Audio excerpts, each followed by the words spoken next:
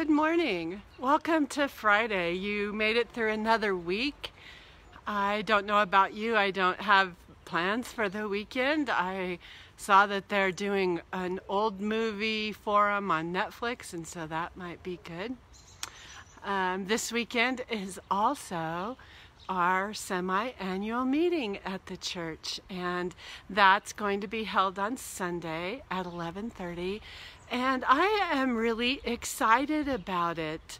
Um, you know, when this pandemic started, we were all worried about how the church would survive and um, I think that uh, with great leadership, we have really done a good job. And for me, this is an exciting time to be in ministry because there are so many new things that we can do, that we can try, that we can just really dig in the dirt and grow.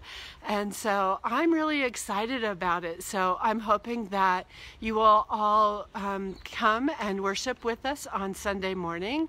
And then when worship is over, take some time to get a snack, to get lunch, and then join us again at 1130. And at that time, we're going to be talk talking about Park Hill 2.0. And I'm really hoping that some of you from um, all around the country will join us. This is not just for members only. You are all welcome and invited. We would love to have you. And especially because we would love to hear your ideas about how Park Hill 2.0 can grow and how it can fit into your life.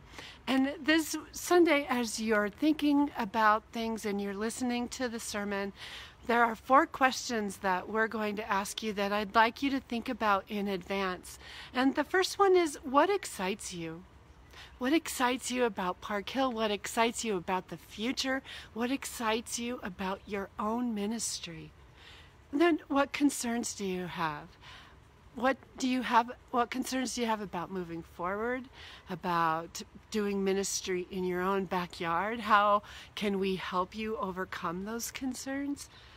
And then what would you add to the plan that is is in place and you'll hear more about that plan. But what would you add to it? What would you bring to the table? And then finally, how would you like to contribute it takes all of us to be the church. Every Sunday we talk about taking our faith out into the world. And that's what's really important. Not what we do on Sunday mornings in the pews, but how we take that out and how we live our lives. So those are the four questions. What excites you? What concerns you? What would you add? And how would you like to contribute? So um, have a good weekend and I look forward to seeing you on Sunday and hearing your valuable input. Have a good day. Bye.